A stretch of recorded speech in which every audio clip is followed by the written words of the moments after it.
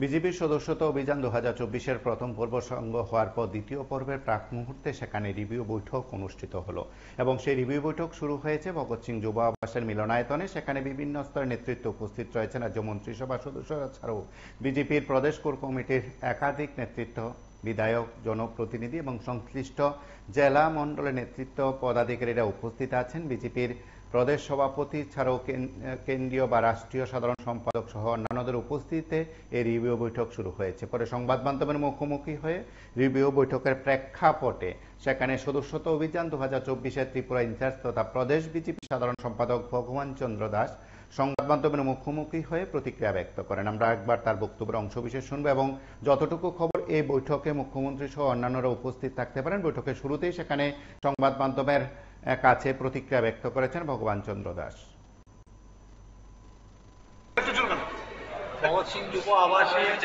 ভারতীয় জনতা পার্টির সদস্যতা অভিযানকে সামনে রেখে আমাদের দ্বিতীয় পর্বের পর্যালোচনা, বৈঠক এখানে অনুষ্ঠিত হচ্ছে আমাদের মধ্যে এই বৈঠকে যিনি প্রধান অতিথি হিসেবে উপস্থিত আছেন, সর্বভারতীয় সাধারণ সম্পাদক দূষণ কুমার গৌতমজি এবং রয়েছেন আমাদের রাজ্যের মাননীয় রাজ্য সভাপতি তথা রাজ্যসভার সাংসদ রাজীব ভট্টাচার্য মহাশয় রবীন্দ্র রাজুজি আসছেন আমাদের সংগঠন মন্ত্রী, এবং মাননীয় মুখ্যমন্ত্রী, উনিও কিছুক্ষণের মধ্যে আসবেন।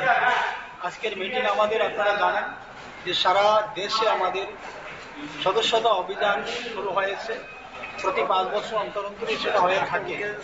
তো এই বছরও মানে দু সালের গত দু তারিখে মাননীয় প্রধানমন্ত্রীজির হাত ধরে তার সূচনা হয়েছিল এবং প্রথম পর্বে আমাদের পঁচিশ তারিখ পর্যন্ত মানে পঁচিশ সেপ্টেম্বর পর্যন্ত আমাদের ছিল। তো এই পঁচিশ সেপ্টেম্বর পর্যন্ত আজকে সারা দেশের মধ্যে ত্রিপুরা একটা ভালো স্থান নিয়ে নিয়েছে, ভালো জায়গা নিয়ে নিয়েছে। আমাদের রাজ্য ভালো সদস্য হয়েছে। তো এখন আমাদের দ্বিতীয় পর্বের এক তারিখ থেকে দ্বিতীয় পর্বের যে সদস্যতা অভিযানের কাজ শুরু হবে, তো তার জন্য একটা রিভিউ মিটিং আমরা পর্যালোচনাতে আজকে বসছি। এটা চলবে আমাদের আজকে চারটা পর্যন্ত বিকাল। এখন শুরু হয়েছে।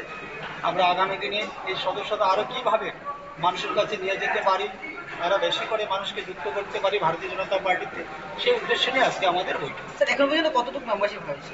আমরা অনলাইনে পাঁচ লক্ষ আশি হাজার গতকাল পর্যন্ত হয়েছে এবং অফলাইনে আমাদের প্রায় দেড় লক্ষ হয়ে গিয়েছে অফলাইনে তো আগামী দিনে আমাদের অনলাইন অফলাইন আরও রয়েছে আমাদের অনেক এলাকাই রয়েছে যেগুলোতে আমরা এখন পর্যন্ত গিয়ে পৌঁছতে পারিনি বা যেখানে আমাদের ইন্টারনেটের অসুবিধা রয়েছে।